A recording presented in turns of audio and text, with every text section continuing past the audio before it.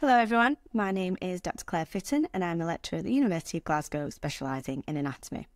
So in this video we're going to look at learning outcome 99 and that concerns the femoral canal and its relationship to the inguinal ligament and then also the clinical correlation that goes along with that which is femoral hernias. Now a few of the structures that I mentioned in this video have been introduced in more detail in the video for learning outcome 98 so it might be quite helpful for you to go back and watch that one first so that you fully understand the structures in this video. So to understand the anatomy of the femoral canal, we actually need to start with the inguinal ligament. And we can see this nicely on the model here. So we can see that the inguinal ligament is attaching laterally to the anterior superior iliac spine and medially to the pubic tubercle. And if we just remove some of those soft tissues, then we can see those connections quite nicely. And if I come from this inferior perspective, we can see that these attachments have created this space between the inguinal ligament and the pelvis. And this space is known as the retroinguinal space. And it connects the abdominopelvic cavity to the lower limb and allows the passage of structures between the two regions. So if I pop some of those soft tissues back in, we actually split this space into two different compartments. So we've got a lateral or a muscular compartment and we've got a medial compartment. Now, in this muscular compartment, we've got the muscle bellies for the iliacus muscle and the psoas major muscle, collectively known as iliopsoas. And then we've also got the femoral nerve, which is sitting just anterior to these muscle bellies.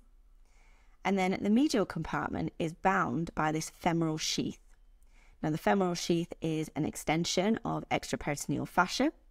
So, the posterior wall of the sheath is made up of an extension of fascia which covers the iliac bone and then the anterior wall is an extension of fascia from the transversalis fascia, which was first introduced in the video for learning outcome 98. Now we can see that this femoral sheath is extending down into the femoral triangle. And if you want to learn more about the femoral triangle, then you can see the video for learning outcome 145. But coming back to the femoral sheath, we actually split it further into three separate compartments. So we have a lateral compartment, which contains the femoral artery, which is highlighted there. We have a central compartment, which contains the, fem- the femoral vein. And then we have a medial compartment, which is this space left here. And this is the femoral canal. So the femoral canal is conical in shape and it extends down to the superior border of the saphenous opening. So the base of the femoral canal is here, and we refer to this as the femoral ring, and it's about one centimeter in diameter.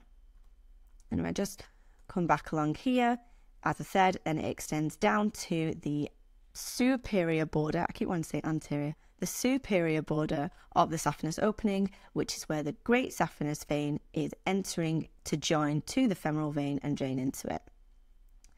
So if I come back to the femoral ring, so the fascia was probably shown a bit smaller in here, but we refer to this area as the femoral ring. And we say that it has four borders. So if I just come from this perspective, so this is the lateral border, and the lateral border is the femoral is the septum of fascia between the femoral canal and the femoral vein. The posterior border is the superior ramus of the pubis, which is the which is also covered by the pectineal ligament, which you can see highlighted here. Then we've got the medial border, which is the lacunar ligament, and then we've got the anterior border, which is the inguinal ligament. Now, this femoral ring would usually be closed off by femoral septum, which is just extraperitoneal fat, which would be covered on its abdominal surface by the, um, the parietal peritoneum. Now, within the femoral canal, we would have soft tissue, such as um, loose connective tissue, such as fat. We would have lymphatics, and you might also have a deep inguinal node. Now, the lymphatics would pierce the septum to connect the node, the deep inguinal node, to the external iliac nodes. And this space is also really helpful because if the venous return from the lower limb is increased for whatever reason, then this space allows the expansion of the femoral vein. So I'm now going to talk a little bit about femoral hernia. Now, if you have seen the video for learning outcome 98, then you'll know that the definition of a hernia is the protrusion of an organ through the wall of the cavity that contains that organ. So that's still the abdominal cavity for a femoral hernia. So the contents of a femoral hernia are still going to be most likely small intestines or could be a bit of fat or other abdominal viscera. Now, the reason they occur is because of this femoral ring that we've spoken about is a weak point in the lower abdominal wall. And where there's a weak point, we've got increased potential for a hernia to occur. Now, if the femoral hernia enters into the femoral canal, it will be quite small in size as this is a restricted space.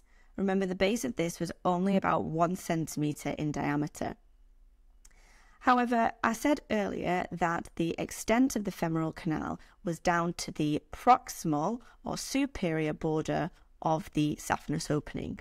But the fascia isn't actually attached here.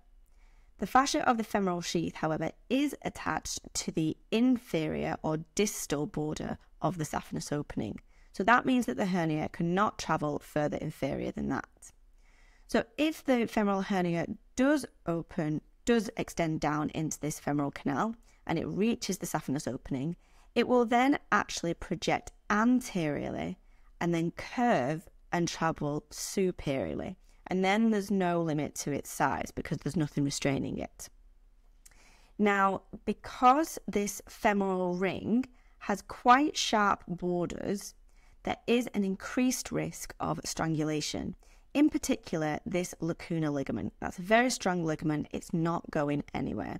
So strangulation is the blood, when the blood supply to that viscera or whatever is inside the hernia, when that blood supply is cut off.